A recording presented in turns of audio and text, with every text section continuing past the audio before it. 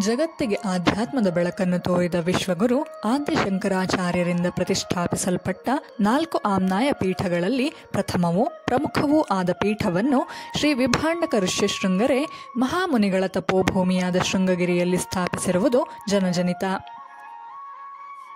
ಈ ಅವಿಚ್ಛಿನ್ನ ಗುರು ಪರಂಪರೆಯಲ್ಲಿ ಪ್ರಸ್ತುತ ವ್ಯಾಖ್ಯಾನ ಸಿಂಹಾಸನಾಧೀಶ್ವರರಾಗಿ ತಪಶ್ಚಕ್ರವರ್ತಿಗಳಾದ ಜಗದ್ಗುರು ಶ್ರೀ ಶ್ರೀ ಭಾರತೀ ತೀರ್ಥ ಮಹಾಸನ್ನಿಧಾನಂಗಳವರು ವಿರಾಜಮಾನರಾಗಿರುವುದಲ್ಲದೆ ಜಗದ್ಗುರು ಶ್ರೀ ವಿಧುಶೇಖರ ಭಾರತೀ ಸನ್ನಿಧಾನಂಗಳವರನ್ನು ತಮ್ಮ ಉತ್ತರಾಧಿಕಾರಿ ಶಿಷ್ಯರನ್ನಾಗಿ ನಿಯಮಿಸಿ ತಮ್ಮನ್ನು ಆಶ್ರಯಿಸಿ ಬರುವ ಭಕ್ತರನ್ನು ಅನುಗ್ರಹಿಸುತ್ತಿದ್ದಾರೆ. ಜಗದ್ಗುರು ಶ್ರೀ ಮಹಾಸನ್ನಿಧಾನಂಗಳವರ ದಿವ್ಯ ಸಪ್ತತಿ, ಅಂದರೆ ಎಪ್ಪತ್ತನೇ ವರ್ಧಂತಿಯು ಶ್ರೀ ಶಾರ್ವರಿ ನಾಮ ಸಂವತ್ಸರದ ಚೈತ್ರ ಶುಕ್ಲ ಷಷ್ಠಿ ದಿನಾಂಕ ಮೂವತ್ತು ಮೂರು ಎರಡು ಸಾವಿರದ ಇಪ್ಪತ್ತರ ಸೋಮವಾರದಂದು ಸಂಪನ್ನವಾಗಿದೆ. ಈ ಸಂದರ್ಭದಲ್ಲಿ ಜಗದ್ವಂದ್ಯರು, ಗುರು ಸಾರ್ವಭೌಮರೂ ಆದ ಶ್ರೀ ಶ್ರೀ ಭಾರತೀ ತೀರ್ಥ ಮಹಾಸನ್ನಿಧಾನಂಗಳವರ ದಿವ್ಯ ಚರಿತಾಮೃತದ ಸ್ಮರಣೆಗೈಯುತ್ತಾ ಕೃತಾರ್ಥರಾಗೋಣ.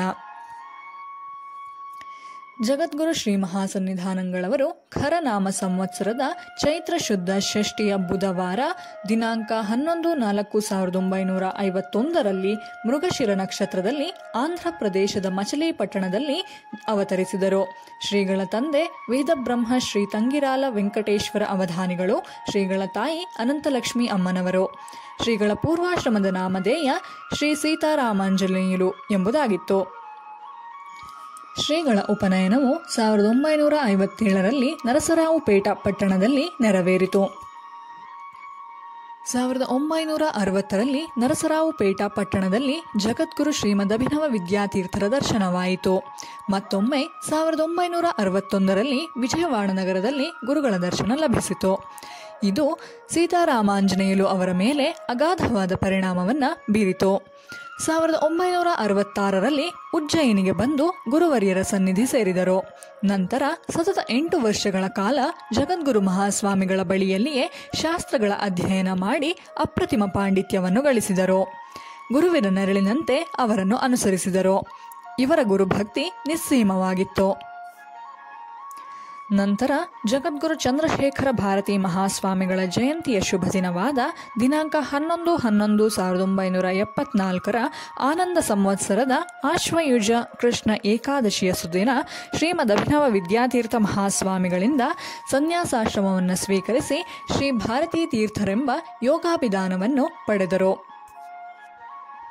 ಸಾವಿರದ ಒಂಬೈನೂರ ಎಂಬತ್ತೊಂಬತ್ತರಲ್ಲಿ ಮೂವತ್ತಾರನೇ ಜಗದ್ಗುರುಗಳಾಗಿ ವ್ಯಾಖ್ಯಾನ ಸಿಂಹಾಸನಾಧೀಶ್ವರರಾಗಿ ಪಟ್ಟಾಭಿಷಿಕ್ತರಾದರು. ಜಗದ್ಗುರು ಶ್ರೀ ಭಾರತೀ ತೀರ್ಥ ಮಹಾಸ್ವಾಮಿಗಳು ಜಗನ್ಮಾತ ಶಾರದಾಂಬೆಯ ಪ್ರೇರಣೆಯಿಂದ ಜಯನಾಮ ಸಂವತ್ಸರದ ಮಾಘ ಶುದ್ಧ ತದಿಗೆಯ ದಿನಾಂಕ ಇಪ್ಪತ್ತ್ಮೂರು ಒಂದು ಎರಡು ಸಾವಿರದ ಹದಿನೈದರಂದು ಬ್ರಹ್ಮಚಾರಿ ಶ್ರೀ ಕುಪ್ಪ ವೆಂಕಟೇಶ್ವರ ಪ್ರಸಾದ ಶರ್ಮರಿಗೆ ಸನ್ಯಾಸ ದೀಕ್ಷೆಯನ್ನು ನೀಡಿ ವಿಧುಶೇಖರ ಭಾರತಿ ಎಂಬ ಯೋಗ ಪಟ್ಟವನ್ನು ಅನುಗ್ರಹಿಸಿ ಉತ್ತರಾಧಿಕಾರಿ ಶಿಷ್ಯರನ್ನಾಗಿ ಸ್ವೀಕರಿಸಿದರು.